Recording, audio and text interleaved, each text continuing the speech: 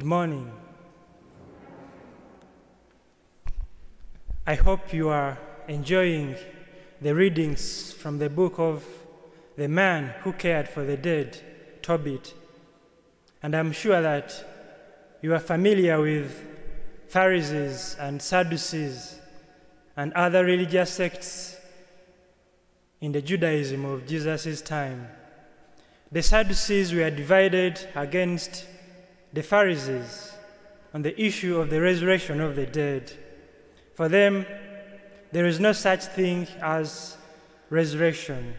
Now they come to Jesus, whom they know sides with their opponents on this matter, and they put him in a fix. They describe to him a case similar to that of Sarah in the first reading. The woman attempts seven marriages, all in vain. The husbands die before she gets to know them, that is, before the marriage is consummated.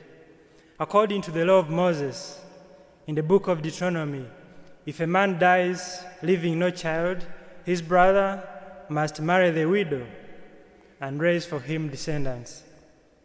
So they ask him, Master, if it is true that there is the resurrection of the dead, what will be the fate of this woman?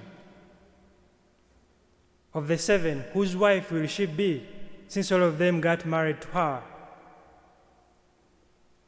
What would you answer if you were Jesus?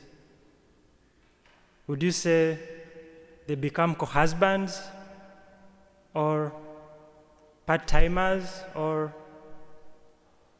corporate owners? But Jesus quickly comes out of this trap. However, he approaches the question of his interrogators from another plane. He describes the resurrection from another perspective. The resurrected bodies will be like those of angels. Yes, although we shall retain our masculinity, our femininity, our bodies will serve another purpose other than procreation. God will be the sole object of our desire, of our love. This is what is called the beatific vision. What about our husbands, our children, our loved ones? Shall we simply disregard them and live solitary lives? Not at all. We shall love them even more because God will be all in all. Indeed, it will be a communitarian life, but centered on God. I am calling it a life, not death, because He is God of the living, not of the dead. When Jesus appends this to the burning bush text from Exodus in his answer to the Sadducees, I think he resonates something in the ears of his audience. The patriarchs he's quoting, Abraham, Isaac, Jacob, were long dead, but he considers them living. He is a God of the living, not of the dead. And I think Jesus' answer to the Sadducees was on point. I'm sure that at the end of his explanation, the Sadducees got to know that, first of all, the resurrection is real, and secondly, the resurrected bodies exist at a higher level of being. In the Creed, we profess faith in the resurrection of the dead and the life of the world to come.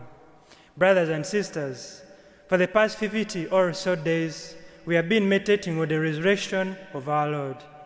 As St. Paul tells us, Christ is the first fruits of those who are fallen asleep. We are destined to be where Christ is. This, however, is not guaranteed.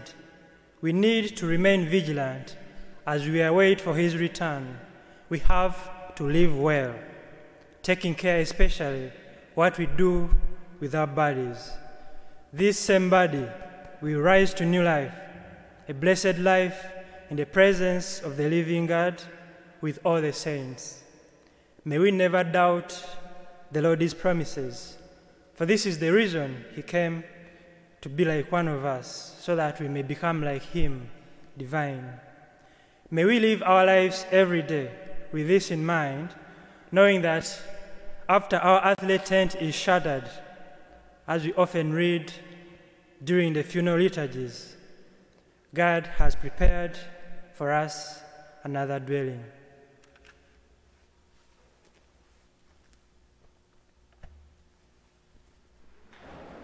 Hello, OLPH. My name is Mary Lynn Januszewski, and I'm the Director of Finance and Operations at Our Lady of Perpetual Help Parish in Glenview, Illinois.